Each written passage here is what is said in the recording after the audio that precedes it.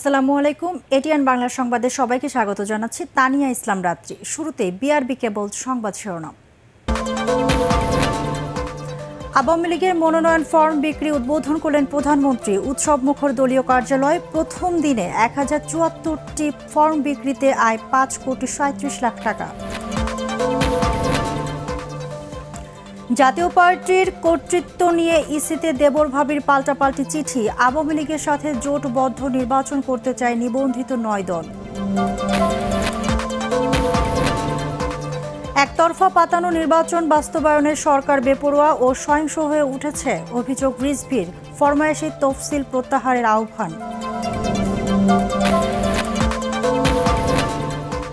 সভা সমাবেশে রাজনৈতিক হাঙ্গামা ও পুলিশের বল প্রয়োগ দুটোই মানবাধিকার লঙ্ঘন বললেন প্রধান বিচারপতি।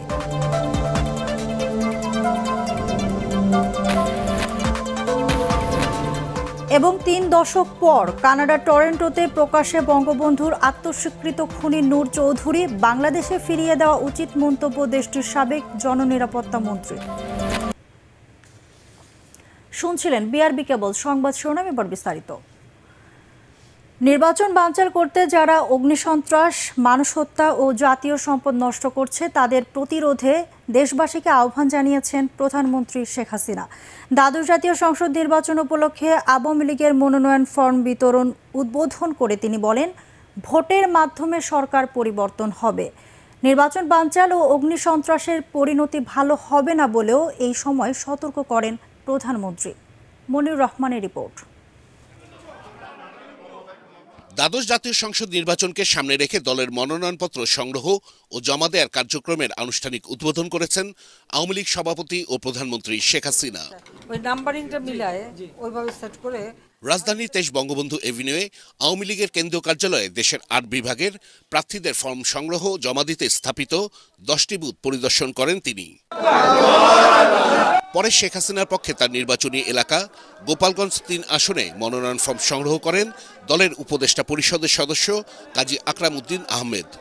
এ সময় গোপালগঞ্জ জেলা আওয়ামী লীগের সভাপতি ও সাধারণ সম্পাদক উপস্থিত ছিলেন। আমরা ওনার পক্ষ থেকে আজকে ফর্ম নিলাম। আপনারা দোয়া করবেন যে যত রকমের বাধা বিঘ্ন আগুন জ্বালাও পোড়াও এইসব বাদ দিয়ে ইলেকশন ঠিকভাবে হবে এবং ইলেকশনে আমরা জয়ী হব। জন্মলগ্ন থেকে আওয়ামী লীগ গঠনতন্ত্র ও দেশের সংবিধান মেনে চলছে বলে জানান শেখ হাসিনা।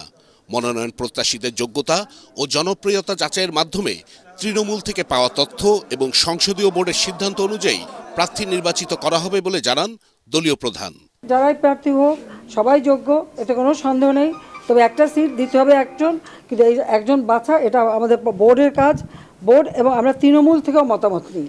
আমাদের একটা ওরকম একটা পদ্ধতি করা আছে।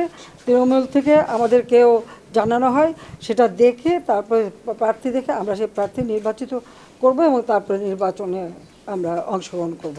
যেসব দল নির্বাচনে আসার সিদ্ধান্ত নিয়েছে তাদের সাধুবাদ জানিয়ে প্রধানমন্ত্রী অভিযোগ করেন যাদের মানুষের উপর আস্থা বিশ্বাস নেই তারাই নির্বাচন বানচালের চেষ্টা করছে। নির্বাচন বানচাল করার যদি কেউ চেষ্টা করে আর যদি এই অগ্নিসন্ত্রাস অব্যাহত রাখে তার পরিণতি ভালো হবে না। যারা করবে আমাদের দেশের মানুষই তাদেরকে শাস্তি দেবে।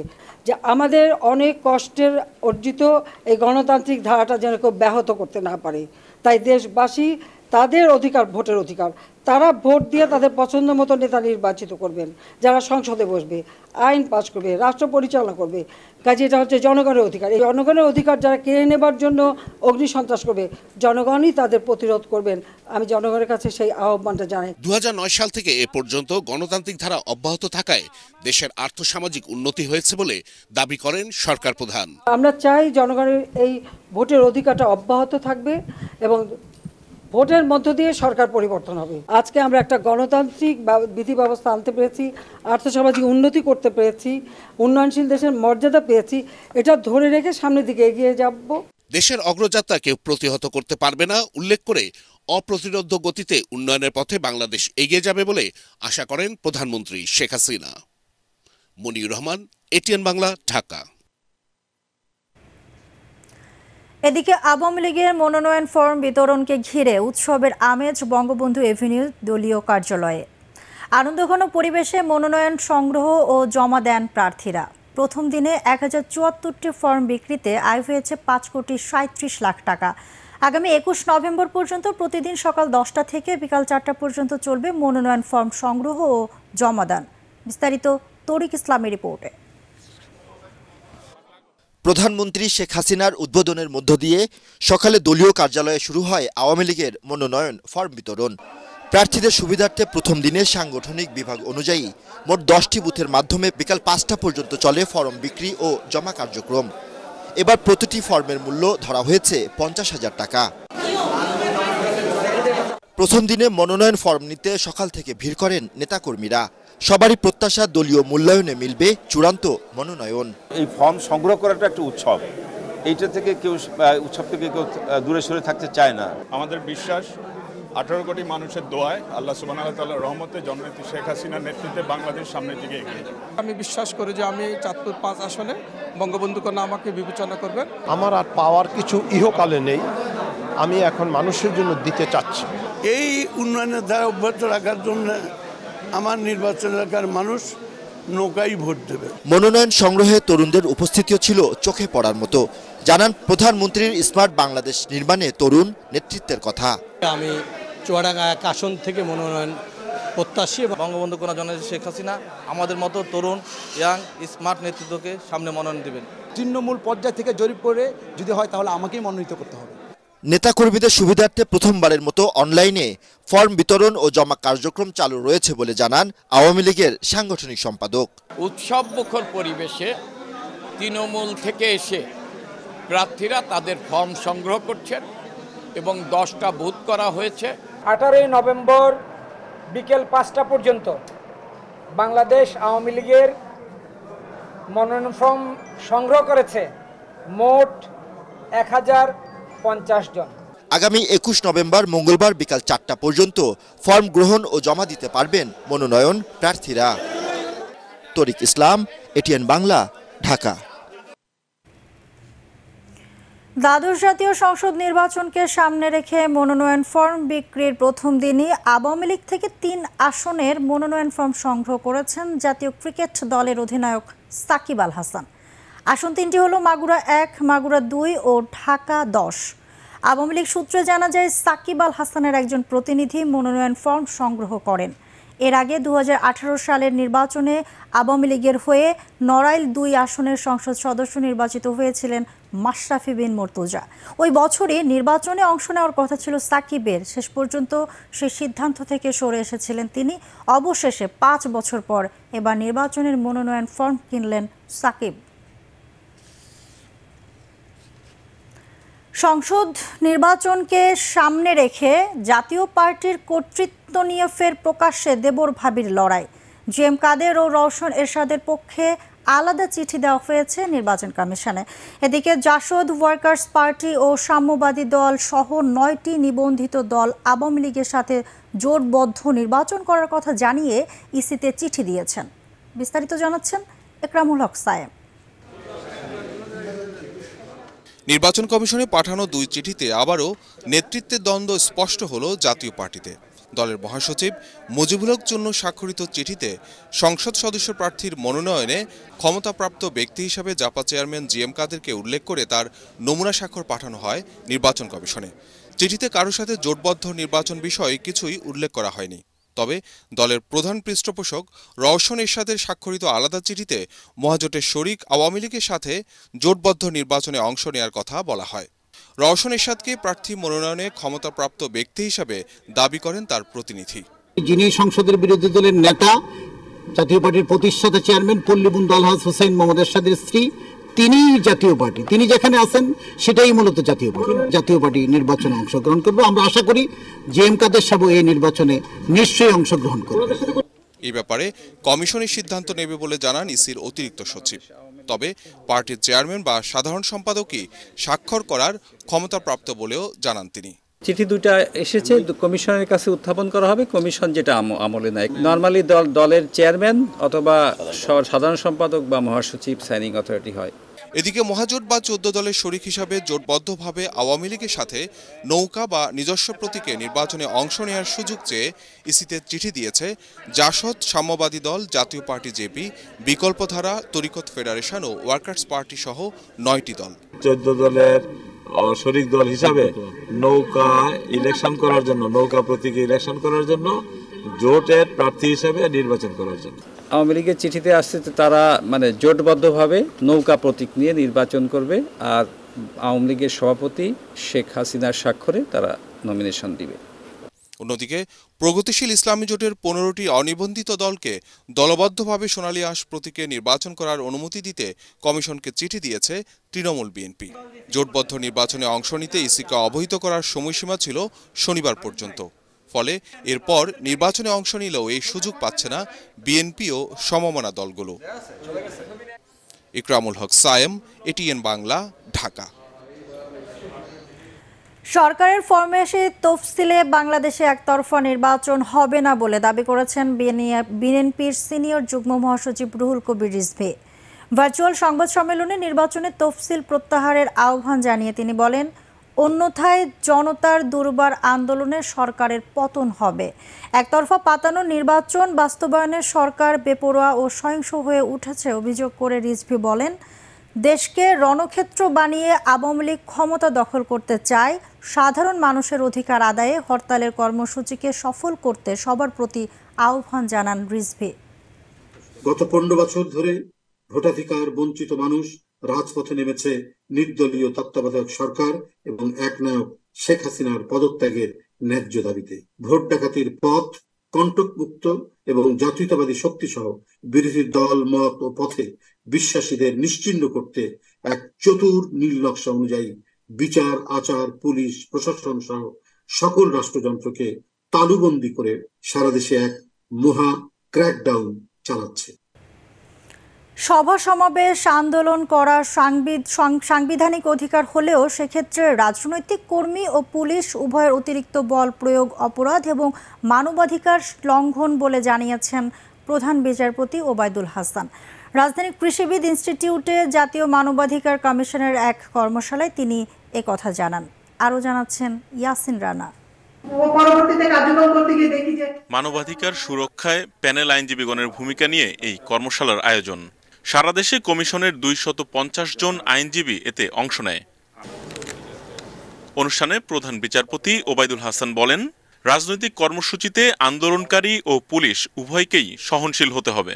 যে একটি মানুষ, তার রাজনৈতিক অধিকার নিশ্চয়ই তাকে কনস্টিটিউশন সেই গ্যারান্টি দিয়েছে, তিনি রাস্তায় আন্দোলন করবেন, রাস্তায় রাস্তা প্রশাসন করবেন, সবই করবেন। অতিরিক্ত বল প্রয়োগ তিনিও যদি করেন পুলিশের উপরে, আর পুলিশ যদি অতিরিক্ত বল প্রয়োগ করে, দুইটাই কিন্তু অপরাধ। এবং দুইটাই কিন্তু মানবাধিকারের লঙ্ঘনের পর্যায়ে পড়ে যায়। সম্প্রতি কিছু ঘটনা ঘটেছে, আপনারা দেখেছেন, সেখানে মানবাধিকারের চরম লঙ্ঘন হয়েছে। পাবনা মানসিক হাসপাতালে মানবাধিকার লঙ্ঘন হচ্ছে বলে জানান তিনি। সবাই কিন্তু মানসিকভাবে পাগল নন মানসিকভাবে অপ্রকৃতস্থ নন। তাদেরকে সেখানে রাখা হয়েছে পারপাসফুলি পরিবারের সদস্যরাই সবাই না একটি অংশ।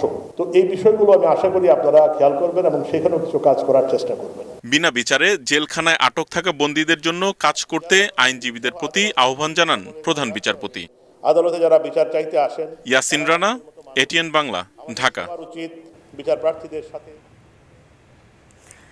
বঙ্গবন্ধুর আত্মস্বীকৃত খুনি ও মৃত্যুদণ্ডপ্রাপ্ত আসামি নূর চৌধুরীকে বাংলাদেশে ফিরিয়ে দেওয়া উচিত বলে মন্তব্য করেছেন কানাডার কনজারভেটিভ পার্টির সাবেক জননিরাপত্তা মন্ত্রী স্টকওয়েলজে খুনি নূর চৌধুরীকে নিয়ে দেশটির রাষ্ট্রীয় টেলিভিশন চ্যানেল সিবিসির তথ্যচিত্রে তিনি একথা বলেন। এতে জনসম্মুখে দেখা যায় নূর চৌধুরীকে। তথ্যচিত্রে নিজেকে নির্দোষ দাবি করেন তিনি।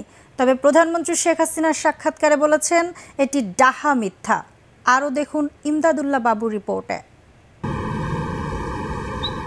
প্রায় ত্রিশ বছর পর জনসমুখে বঙ্গবন্ধুর আত্মস্বীকৃত খুনি ও মৃত্যুদণ্ডপ্রাপ্ত আসামি নূর চৌধুরী।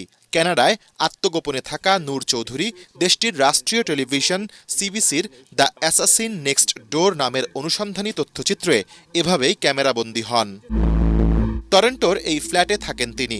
ব্যালকনিতে ফুলের পরিচর্যার সময় তাকে দেখেন টেলিভিশনের অনুসন্ধানী কর্মীরা। কানাডায় মুক্তভাবে বসবাস করা এই বৃদ্ধ বাংলাদেশের মোস্ট ওয়ান্টেড অপরাধী বঙ্গবন্ধুর খুনি। So I just want to know if you've been truthful with Canadians about your role in the assassination in Bangladesh in 1975, sir. সিবিসির রেডিও সাক্ষাৎকারে নূর চৌধুরী নিজেকে নির্দোষ দাবি করে বলেন তিনি কোনো হত্যাকাণ্ডে জড়িত ছিলেন না। I'm innocent. I have not assassinated the president. That's why I'm here today. I've been set up. I seek justice and protection from the government of Canada. I didn't suspect, but I always thought Hasina knew and was seeking a vendetta against me. এই দাবি নাকচ করে তথ্যচিত্রে কথা বলেছেন বঙ্গবন্ধু হত্যা মামলার তদন্ত কর্মকর্তা আব্দুল কাহার আকন্দ ও আইনজীবী বর্তমান আইনমন্ত্রী আনিসুল হক This is completely uh, false. The accused persons uh, themselves uh, confessed they are guilty in the court and they uh, uh, named uh, Nur Chaudhary. The fact remains that we had evidence to show that he was there. বঙ্গবন্ধুকে গুলি করে হত্যার পর কূটনীতিক হিসেবে বিভিন্ন দেশে দায়িত্ব পালন করেন নূর চৌধুরী ছিয়ানব্বই শেখ হাসিনা ক্ষমতায় এলে পালিয়ে যান কানাডা। যেহেতু কানাডা মৃত্যুদণ্ড সমর্থন করে না তাই সেখানে আবেদন করে থেকে যাওয়ার সুযোগ হয় নূরের। কানাডার ডালহৌসি বিশ্ববিদ্যালয়ের আইন বিভাগের অধ্যাপক রব কুরি বলছেন বিশেষ ক্ষেত্রে এই আইনের ব্যত্যয় হতে পারে। In this area of the law, it's probably the most mysterious phrase that there is. Historically, when the court first formulated the phrase, দেশটির কনজারভেটিভ পার্টির সাবেক জননিরাপত্তা মন্ত্রী স্টকওয়েল ডে এতে বলেছেন, কানাডা অপরাধীদের স্বর্গরাজ্য নয়। নূর চৌধুরীকে বাংলাদেশের হাতে তুলে দেয়াই সঠিক সিদ্ধান্ত হতে পারে।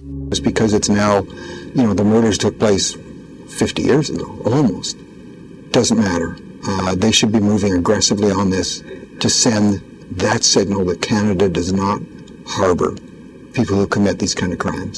একজন আত্মস্বীকৃত খুনির মানবাধিকার নিশ্চিতে ক্যানাডা এগিয়ে এলেও বঙ্গবন্ধু পরিবারের সদস্যদের ন্যায় বিচার পাওয়ার ক্ষেত্রে কেন দেশটি পিছপা হচ্ছে, এমন প্রশ্ন তোলেন প্রধানমন্ত্রী শেখ হাসিনা।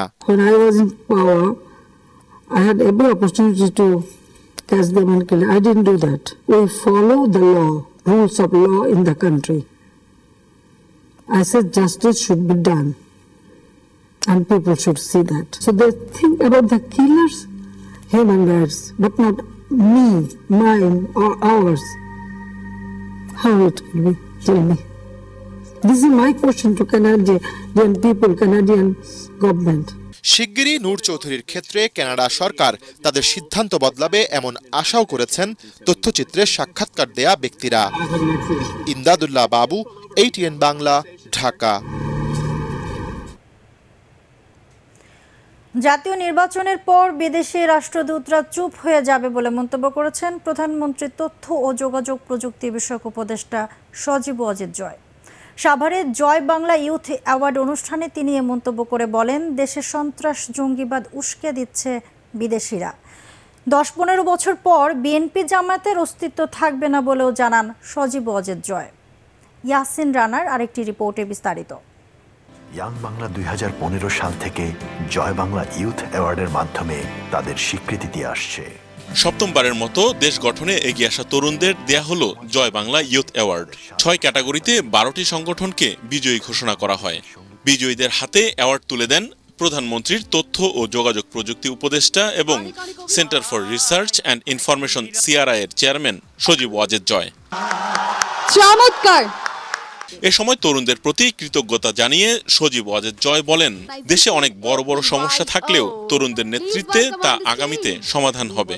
নৌকায় ভোট দিয়ে সন্ত্রাস জঙ্গিবাদের বিরুদ্ধে প্রতিবাদ জানাতে তরুণদের প্রতি আহ্বান জানান তিনি। আরেকটি সমস্যা আমাদের সামনে দাঁড়িয়েছে, সেটা হচ্ছে বিএনপি জামাতের সন্ত্রাস, জ্বালাও পোড়াও। এটার মোকাবেলা হচ্ছে সামনে নির্বাচনে ভোট দিবেন যারা জ্বালাও পোড়াও করছে তাদের বিরুদ্ধে ভোট দেবেন নৌকায় ভোট দেবেন। নির্বাচনের আগে বিদেশিরা দেশে সন্ত্রাস জঙ্গিবাদ উস্কে দিচ্ছে এমন অভিযোগ করে তাদের কথায় কান না দিতে দেশবাসীকে আহ্বান জানান বঙ্গবন্ধুর দৌহিত্র। আমাদের অনেক বিদেশি রাষ্ট্রদূত ঠিক নির্বাচনের আগে তারা অনেক বেশি কথা বলা শুরু করে এবং ঠিক তখনই কিন্তু এই সন্ত্রাস সংঘর্ষ জ্বালাও পোড়া শুরু হয়। তার মানে কি? তাদেরকে এরাই উস্কাচ্ছে। তবে চিন্তা করবেন না। যেদিন নির্বাচন শেষ হয়ে যাবে পরের দিন তারাও চুপ হয়ে যাবে আগামী দশ পনেরো বছরে বিএনপি জামাত বলে কোনো দল বাংলাদেশে আর টিকবে না তখন বাংলাদেশে শান্তি আসবে সাত জানুয়ারি নৌকায় ভোট দিয়ে উন্নয়নের গতি অব্যাহত রাখার আহ্বান জানান Sajeeb Wazed Joy Thank you very much once again. Once Yasin Rana ATN Bangla Dhaka congratulations. And this is the future of Bangladesh. দেশে স্বর্ণের দাম বেড়ে অতীতের সব রেকর্ড ভেঙে দিয়েছে। বাইশ ক্যারেটের এক ভরি স্বর্ণের দাম এক হাজার সাতশো পঞ্চাশ টাকা থেকে বেড়ে এক লাখ ছয় হাজার তিনশো ছিয়াত্তর টাকা হয়েছে। বাজুসের মূল্য নির্ধারণ ও মূল্য পর্যবেক্ষণ স্থায়ী কমিটির চেয়ারম্যান এনামুল হক ভুইয়া লিটন স্বাক্ষরিত এক সংবাদ বিজ্ঞপ্তিতে তথ্য জানানো হয়েছে। তাদের দাবি স্থানীয় বাজারে তেজাবি সোনার দাম বেড়েছে। সার্বিক পরিস্থিতি বিবেচনায় বাংলাদেশ জুয়েলার্স অ্যাসোসিয়েশন সোনার নতুন দাম নির্ধারণ করেছে, যা আজ থেকে কার্যকর হবে। তবে রূপার দাম অপরিবর্তিত রয়েছে। মেধাবী প্রজন্মকে চাকরির পেছনে না ছুটে উদ্যোক্তা হওয়ার পরামর্শ দিয়েছেন পুলিশের অপরাধ তদন্ত বিভাগ, সিআইডির অতিরিক্ত আইজিপি মোহাম্মদ আলী মিয়া। শনিবার সদর দফতরে সিআইডিতে কর্মরত সদস্যদের কৃতি সন্তানদের মেধাবৃত্তি ও সম্মাননা প্রদান অনুষ্ঠানে প্রধান অতিথির বক্তব্যে তিনি এই পরামর্শ দেন। এ সময় মেধাবৃত্তি ও সম্মাননা প্রদান উপলক্ষে সিআইডি প্রকাশিত ঋদ্ধ নামক বইয়ের মোড়ক উন্মোচন করা হয়। অনুষ্ঠানে এইচএসসি সমমানের চল্লিশ জন এসএসসি সমমানের একানব্বই জন এবং পাঁচজন হাফেজকে মেধাবৃত্তি, সনদ ও সম্মাননা স্মারক দেওয়া হয়। অনুষ্ঠানে সিআইডির ঊর্ধ্বতন কর্মকর্তা এবং কৃতি শিক্ষার্থীদের অভিভাবকরা উপস্থিত ছিলেন।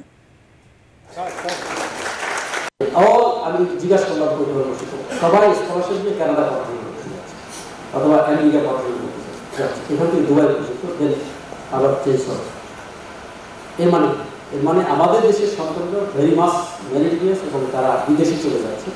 এটা কিন্তু আমরা যে তোমরা, যারা ভালো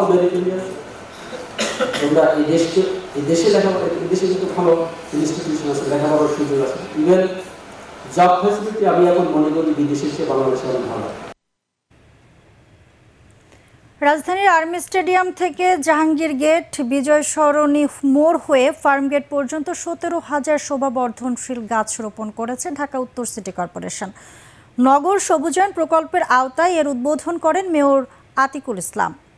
মেট লাইফ ও শক্তি ফাউন্ডেশন প্রকল্পের সহযোগিতা করায় তাদের প্রতি কৃতজ্ঞতা জানান মেয়র। তিনি বলেন, নগরীর প্রতিটি গাছ জিআইএস ম্যাপিংয়ের মাধ্যমে মনিটরিং করা হবে। একই সাথে কেউ যদি গাছের কোনো ক্ষতি করে, তাকে শাস্তির আওতায় নেওয়া হবে বলেও জানান তিনি। গাছ আমাদেরকে ছায়া গাছকে নাম্বারিং করা, গাছকে জিআইএস ম্যাপিং করা, এগুলো কিন্তু আমরা কাজ শুরু করে দিয়েছি। একটি সিটিকে যদি দূষণ মুক্ত করতে হয়, একটি সিটিকে যদি অক্সিজেন হাফ করতে হয়, তার একমাত্র নিরু- নিরসন হচ্ছিল গাছ লাগানো গাছ লাগানো গাছ লাগানো।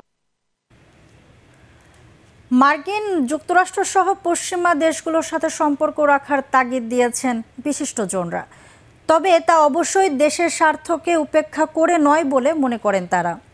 রাজধানীর ডিপ্লোমা ইঞ্জিনিয়ার্স ইনস্টিটিউটে ভূরাজনৈতিক বাস্তবতায় বাংলাদেশ শীর্ষক সভায় অর্থনীতিবিদ ডক্টর কাজী খলিকুজ্জামান আহমেদ বলেন, উন্নয়নের কাঙ্ক্ষিত লক্ষ্যে পৌঁছাতে সব দেশের সাথে কৌশলী কূটনৈতিক সম্পর্ক রেখে এগিয়ে যেতে হবে। অনুষ্ঠানে এটিএন বাংলার অনুষ্ঠান বিভাগের সিনিয়র উপদেষ্টা নওয়াজিস আলী খান মনে করেন নাগরিক সমাজের দায়িত্ব, দেশের উন্নয়ন আর ভালো মন্দ সবার সামনে তুলে ধরা। সরকারের উন্নয়ন যাত্রাকে তুলে ধরতে দ্বাদশ জাতীয় সংসদ নির্বাচন উপলক্ষে জয় বাংলা, জিতবে আবার নৌকা।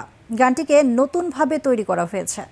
দুপুরে রাজধানীর কারওয়ান বাজারের আইসিটি টাওয়ারে আয়োজিত সংবাদ সম্মেলনে গানটির শুভ মুক্তি ঘোষণা করা হয়। প্রধানমন্ত্রী শেখ হাসিনাকে উৎসর্গ করে বিনা পারিশ্রমিকে টিম জয় বাংলা নতুনভাবে গানটিকে উপস্থাপন করে জানিয়েছেন আওয়ামী লীগের সাংস্কৃতিক সম্পাদক অসীম কুমার উকিল। গতবারের নির্বাচনের মতো এবারও এ গানটি জনগণের মধ্যে সাড়া ফেলবে প্রত্যাশা করেন গানটির প্রযোজক ও গীতিকার তহিদ হোসেন। এবারে পার্টিক্স খেলার খবর।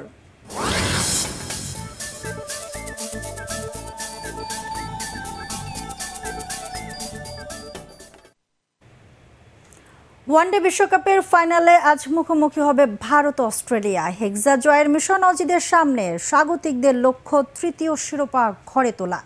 মুখোমুখি লড়াইয়ের পরিসংখ্যানে এগিয়ে প্যাট কামিন্সের দল, কিন্তু এই বিশ্বকাপে অপ্রতিরোধ গতিতে এগিয়ে চলছে ভারত। আহমেদাবাদে বেলা আড়াইটায় মাঠে নামবে দুই দল। এস এম আশরাফের রিপোর্ট। দশ ম্যাচের সবকটিতেই জয়। কি ব্যাটিং, কি বোলিং, সব বিভাগেই প্রতিপক্ষকে রীতিমতো বিধ্বস্ত করছে টিম ইন্ডিয়া। টুর্নামেন্টে ফাইনালের আগ পর্যন্ত কোনো দলই ভারতকে চ্যালেঞ্জ জানাতে পারেনি। গ্রুপ পর্বে এই অস্ট্রেলিয়াকেই ছয় উইকেটে হারিয়েছে রোহিত শর্মার দল। সর্বোচ্চ রান, সর্বোচ্চ উইকেট শিকারী দুই ক্রিকেটারই ভারতের। একশো এক গড়ে বিরাট কোহলির রান সাতশো এগারো। ওয়ানডেতে সর্বোচ্চ সেঞ্চুরির মালিককে আউট করার উপায় খুঁজতেই গলদঘর্ম হতে হচ্ছে প্রতিপক্ষ বোলারদের। ফাইনালে তার ব্যাট থামাতে না পারলে অস্ট্রেলিয়াকে হতাশ হতে হবে। বোলিংয়ে মোহাম্মদ শামি রূপকথার গল্পকেও যেন হার মানাচ্ছেন। মাত্র ছয় ইনিংসই তার উইকেট সংখ্যা, তেইশটি। পাঁচ উইকেট নিয়েছেন তিনবার। ভারতের হয়ে প্রথম বোলার হিসেবে পেয়েছেন সাত উইকেট। তার লেন্থ বোলিং মোকাবেলার উপায় খুঁজে পাচ্ছেন না ব্যাটাররা। তবে দলটি অস্ট্রেলিয়া বলেই কোনো ধারণা পরিসংখ্যানের পক্ষে বাজি ধরা যাচ্ছে না। বড় মঞ্চে অজিরা দুর্দমনীয়। এ কারণেই ওয়ানডে বিশ্বকাপ জয়ের সর্বোচ্চ মালিকও তারা।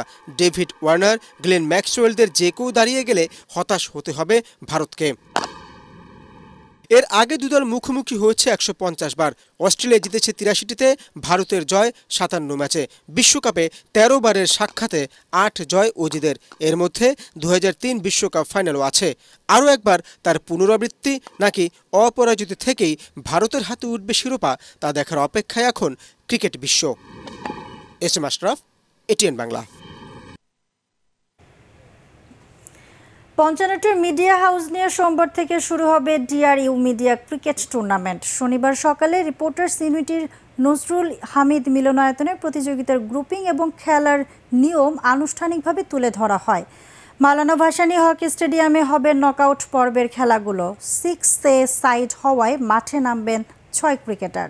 সংবাদ সম্মেলনে পৃষ্ঠপোষক প্রতিষ্ঠান ওয়ালটন গ্রুপের পক্ষে ছিলেন রবিউল ইসলাম মিল্টন, ডিআরইউ সভাপতি মুরসালিন নোমানি, সাধারণ সম্পাদক মাইনুল হাসান সোহেল সহ অন্যান্যরা।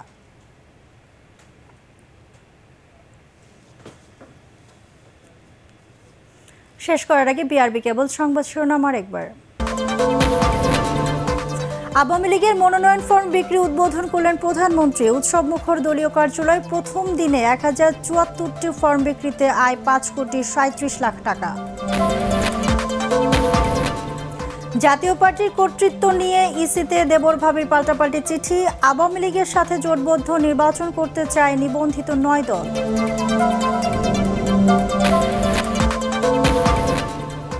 একতরফা পাতানো নির্বাচন বাস্তবায়নের সরকার বেপরোয়া ও সহিংস হয়ে উঠেছে, অভিযোগ রিজভির ফরমায়েশি তফসিল প্রত্যাহারের আহ্বান।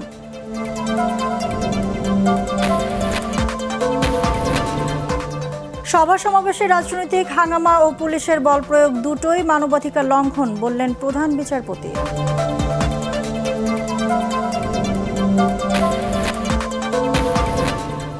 এবং তিন দশক পর কানাডার টরেন্টোতে প্রকাশ্যে বঙ্গবন্ধুর আত্মস্বীকৃত খুনি নূর চৌধুরী বাংলাদেশে ফিরিয়ে দেওয়া উচিত মন্তব্য দেশটির সাবেক জননিরাপত্তা মন্ত্রীর। দর্শক, পরবর্তী সংবাদ দেখার আমন্ত্রণ জানিয়ে এখনকার মতো শেষ করছি। এটিএন বাংলা সংবাদ ইউটিউবে দেখতে ব্রাউজ করুন, YouTube slash ATN Bangla news ধন্যবাদ সবাইকে।